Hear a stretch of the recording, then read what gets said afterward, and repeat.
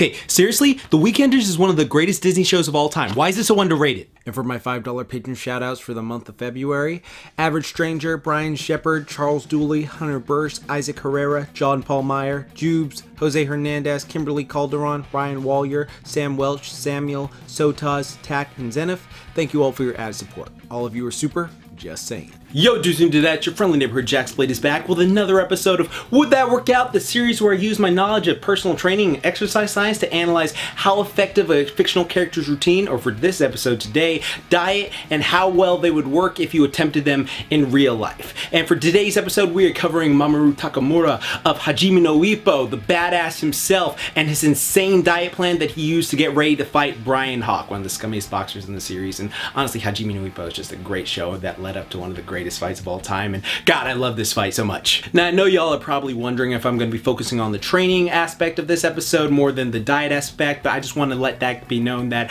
uh, no, I'm not. I'm going to be talking about some of it, but I'm going to be talking primarily about the diet plan that Takamura followed when getting ready for this fight. Though I did an entire video uh, a couple years ago talking about would Ippo's training work in real life, and I talked about all the training they do at the Kamogawa Boxing Gym, and uh, pretty much will go hand in hand with today's video and I explain everything in depth and just like analyze everything fully there. So definitely be sure to check that out. And for those of you who actually want to attempt the training, because I know some people always comment because they don't know the difference between would that work out and tough like the tunes. Uh, if you want to try out like a Ippo style training video, be sure to check out my tough like the tunes for Ippo. Like I did a tough like the tunes back in 2016 for it. Really great, help you get a nice, strong, athletic body, and you know just make you feel like a boxer too. Or you could always just join a boxing gym. But either way, they work great at getting you nice and in shape. So I'll leave links to both those and the card thing whenever it goes by. I'm confused whenever that thing goes by, but uh, yeah, that's what we're going to be focused on today is Takamura's diet. Anyways, Takamura realized he had to make weight for this fight and he would have to drop 20 kilos from his 90 kilo frame in a ridiculously short amount of time. For my American friends, he had to lose 44 pounds from his 198 pound frame, and for my British viewers, that's a starting weight of about 14 stone minus about 3 stone. So it was a drastic drop that he had to make and he began his own training like hell. So for the training, Takamura followed the standard boxing protocol of heavy bag work, punching focus mitts, shadow boxing, and tons of road work which I explained in depth in my Ippo video of how beneficial these all are at helping you become a better boxer and helping to shred you up. Now for those of you unfamiliar with combat sports, I'll explain why weight cutting is common and why fighters do it. You see in sports fighting these days, there are various weight classes and divisions which go from flyweight, meaning you're around like 106 pounds, to bantamweight, to featherweight, to lightweight, to light welterweight, to welterweight, to middleweight, to light heavyweight, to heavyweight. And then this one is usually the top, but then there was one level above. Then if you some Baki the grappling motherfucker, this super heavyweights or little giants battle.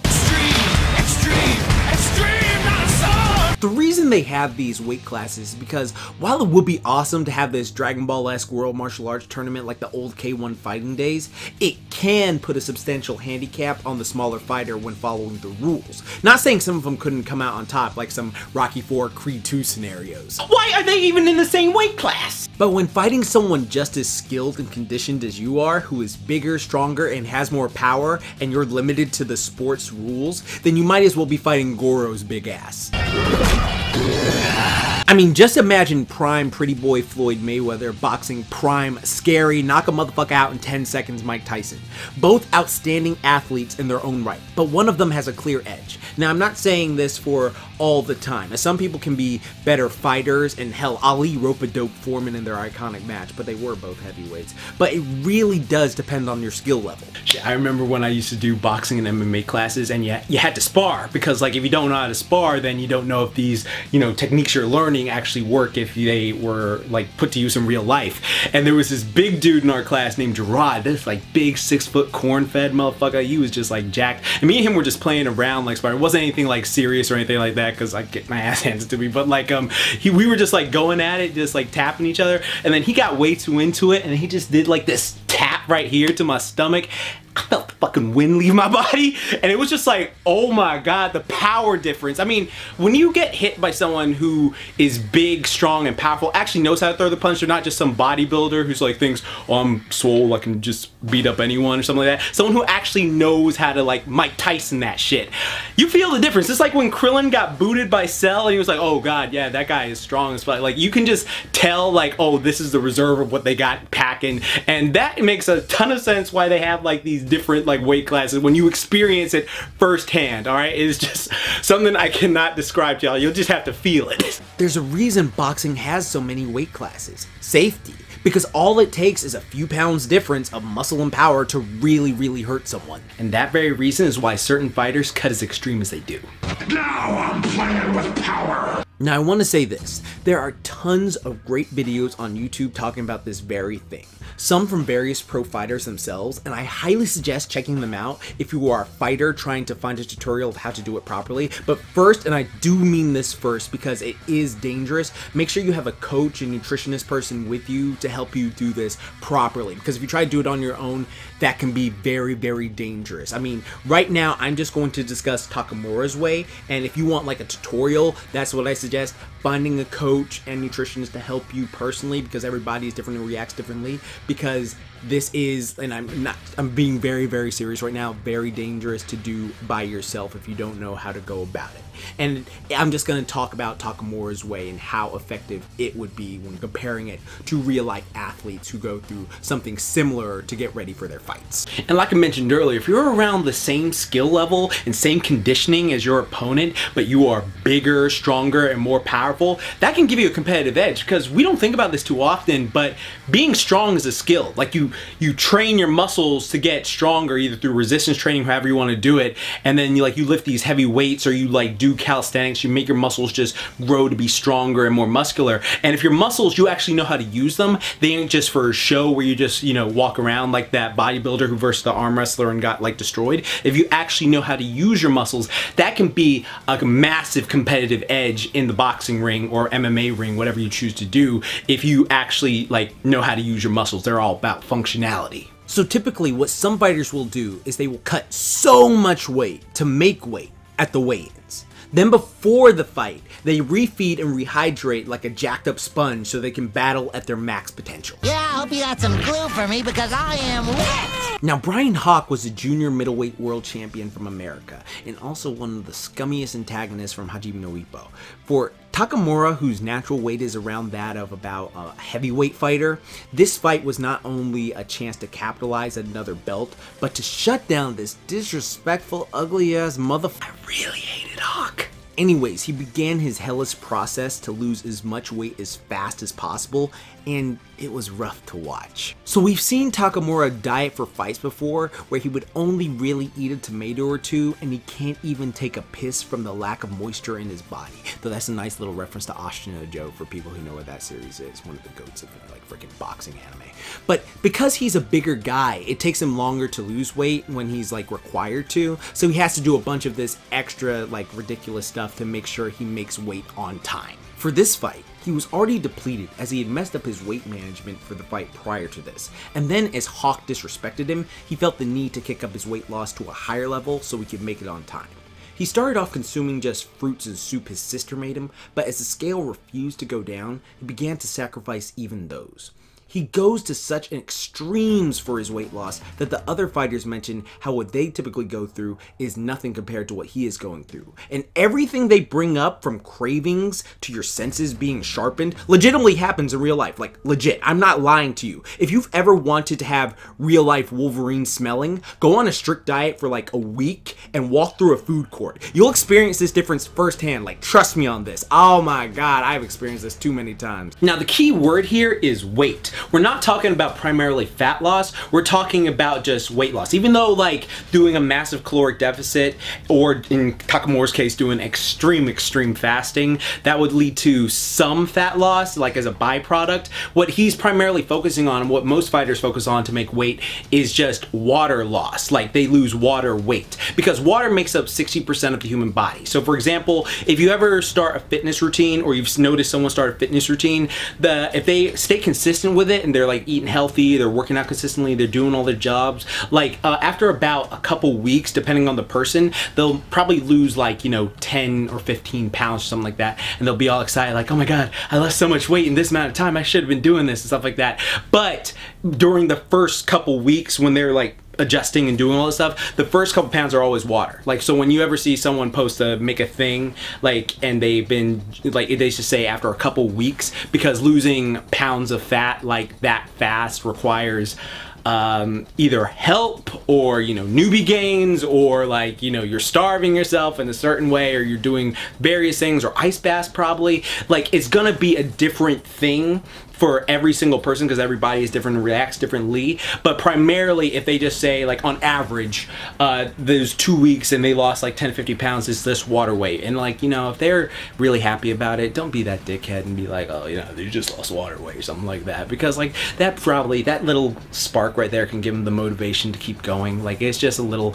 nice thing to go like, oh yeah, congrats for you. Like, you know, just let them keep going. I mean, if they're a dick about it though, just be like, why does everyone always complain about losing 10 pounds? I lost 10 pounds in two weeks weeks, this shit is easy, then by all means, shut that shit down. But like, if they aren't doing anything, they ain't being rude, by all means, you just be polite. So boxers and MMA fighters, usually a week or two out prior to their weigh-ins, will typically try to drop as much water weight as possible in a variety of ways, from cutting out carbohydrates and sodium as consuming those makes your body retain more water. Also making themselves sweat profusely. So that's why you usually see them wearing a lot of hoodies and sweatpants while doing their sports training, uh, going in saunas, and taking extremely hot baths. Anything to make them sweat profusely as that will help them on the scale lose that water weight. But here's the danger of what Takamura was doing.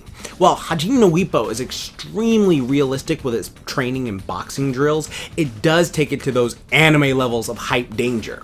While Takamura was cutting to face Bryan Hawk, he went beyond doing standard fasting, which is actually quite healthy once in a while and beneficial to the body for a lot of cellular processes, but I'll cover that in a later video and I'll go in depth on it. But for right now, I'll just talk about this. Not only did he not eat anything this time around, but he also did not drink anything for that amount of time.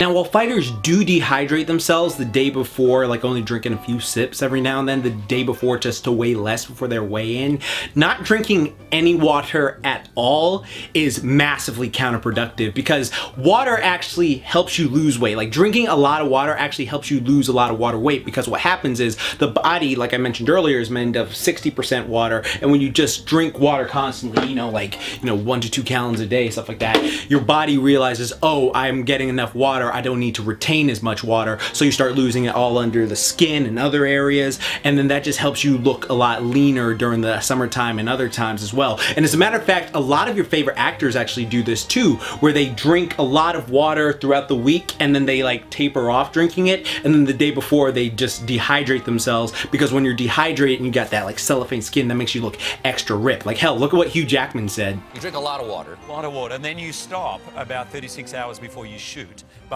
because you've drunk so much water, your body, you are peeing all That's the a day time. and a half. But you lose like 10 pounds of all of this water weight. And I have my shirt off in that scene, so it's a key sort of moment physically. I had to be in peak condition for that. And I went on a water dehydration diet so that I could be as ripped and cut as possible for that. So for 24, 30 hours, you don't drink any liquids. So I had a massive headache. So Takamura not drinking any water the entire time while training his ass off, chewing on shiitake mushrooms to suck out his saliva, sitting in a hot room to sweat, and actively avoiding taking showers to avoid moisture locking into his skin or any food whatsoever, that's not gonna help you. That's just fucking dangerous. Now, the average human being can go approximately three to four weeks without any food in their system before they starve to death because the body will start uh, attacking fat, then it'll go to attacking muscles, and then it'll go to like breaking down internal organs before you know you, you die, you starve to death. And uh, if you don't have any water, because remember it makes up 60% of the entire body, then the time is way less. Like you can approximately go on average, average person can go about three to four days without water in their system because that is such an integral integral part of living and without it like that is just a horrible death and and before those comments like Well, I haven't drank water in 17 years and I'm still fine, you stupid bitch. Certain foods have water, and I know you're probably drinking something, which, guess what? So even for the highest caliber pro fighter, this is just fucking dangerous. If he was doing a water fast where he didn't eat anything but constantly drank water, that'd be one thing. Or if he chugged gallons of water throughout the week and gradually tapered off it, like real life fighters and actors do for, you know, shirtless scenes and they look extra ripped, it could help him lose a colossal amount of weight for the weigh-in. But this Oh, no, no, no, no. but in the end, it all paid off for one of the best anime fights of all time. And goddamn, if you haven't watched Hajime no Ippo yet, y'all need to fix that. but in the end, would Takamura's starvation diet work in real life? No. Takamura's diet would not work for like 99.999999969% of the population. But hell, there are always outliers out there. But again, I am not saying do this at all. But if you had a coach and nutritionist guide you through how to properly do it the real life pro fighter way, it could work out if you do it the pro fighter way where they have to lose like 30 pounds in like a week or something crazy like that it can still be extremely dangerous. Like it is dangerous. I'm not gonna like try even front on that. It is dangerous. And i don't recommend anyone who is not a fighter trying to make weight to do it. If you're trying to lose weight and fat the healthy way slow and steady is the best way you know? Just ask your girlfriend baby. Uh, but so many people get into this mindset that they have to rush to get in shape and honestly that is not healthy or helpful at all in the long run. Like I said in my three leg stool to fitness videos, focus on finding an eating plan that is healthy, nutritious, and doesn't sacrifice your taste buds so that you can stay consistent with it, making results and keep it as a lifestyle instead of just like a, oh, I'm just gonna follow this till I get abs and then, you know, F myself up in the long run. So don't do that. Eat healthy, kids. Well, I hope you enjoyed my video for today, and be sure to leave a comment down below. Tell me if you loved it, tell me you hated it, and be sure to hit that subscribe button because I upload weekly. And be sure to hit that like button too. That button like just helps me out a lot, helps the video get noticed too. So be sure to hit that like button. Also, leave it down below like what is the craziest diet plan you ever followed that you're like, all right, I'm gonna try this and try and get some result out of this diet. I'm generally curious. Like leave some comments down below. Let's get a discussion going. Also, I want to thank you all so much for 300,000 subscribers. Like, wow, it's just, I'm so honored and humbled. Thank you all so much. All you guys and gals out there, you're the reason I keep doing these videos. I love doing them. I love helping people. I love seeing like the results. Like I've been getting a lot of testimonials too from like the various like books and stuff I made. I'm like, oh my God, you're making some awesome gains, bro. I hope you like rock those this summer like any cause or anything like that. But thank you all so much. I'll probably have a 300,000 subscriber special like my 100k si- subscriber special, but I'm not sure yet. I'll see if I want to do something for that.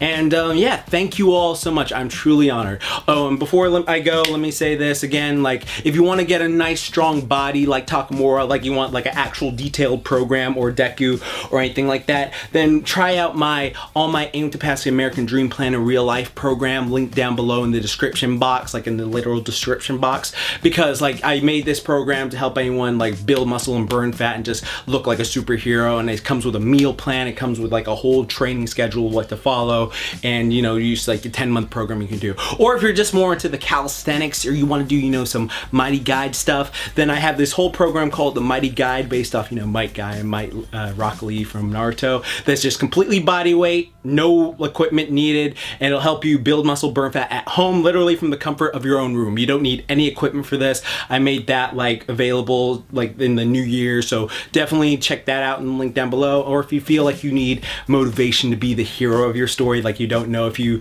can like have that motivation or discipline, then I have a whole thing called A Hero's Will. You can check that out also in the description box below. But thank you all so much. You make these so much fun to do. And remember, like I always say, keep calm and booyah on. And don't forget, Momentai later days. Actually, I've been watching a lot of Weekenders, so I might just start saying later days, like after Keep Calm Booyah, and don't forget Momentai, so y'all the first person to hear that. So if you hear me say that in later videos, you like, you know what it's from. It's from this freaking, where'd it go? Where'd it go? This show. Like Tino's mom in the show is great. This show was great. I had a, like, I love Laura in the show. Laura's my spirit animal. And uh, yeah, Weekenders, awesome. I used to watch it all the time as a kid, and I know I'm ranting right now, and the video should have ended a while ago, but whatever. I just want to say that Weekenders is great. Go watch it if you haven't. Uh, early 2000s kids, 90s kids for life. And uh, remember, like I always say, keep on booing on. Don't forget, Momentai. Later days. Ugh.